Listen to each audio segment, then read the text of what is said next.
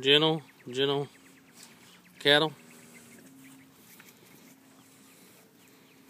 And, you know, there is some real, real nice calves on this bunch.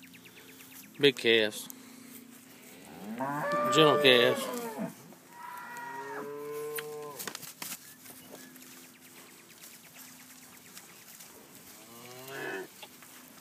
Good big cows, you know, just coming out of the winter.